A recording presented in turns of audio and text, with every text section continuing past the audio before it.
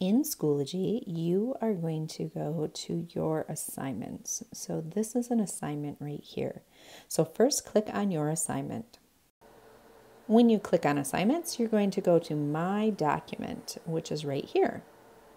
That bring you into a document that might look something like this. This is a Google document that has been made special for you.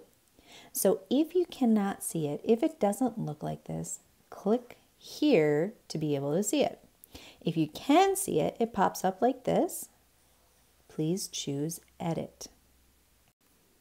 That'll bring you into your own document. You will see your name up at the top, as well as the title of the document that you are editing. And then you're just going to go in and change this document. It's usually a template of some sort with some requirements, and you'll add the content that is being required of you.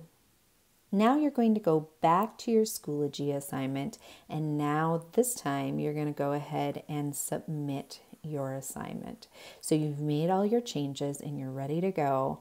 Go ahead and submit your assignment. It'll give you a warning that looks like this. Do you want to submit this assignment? If so, hit yes. At this point, you're going to see that it's submitted by going back to Schoology right up here. That's going to tell you that it's submitted. If you want to unsubmit, you do have the option as well. When you do that, you will have a warning that looks something like this. It says that your access has expired. That just means it's in the hands of the teacher right now, so the teacher can look at it and grade it.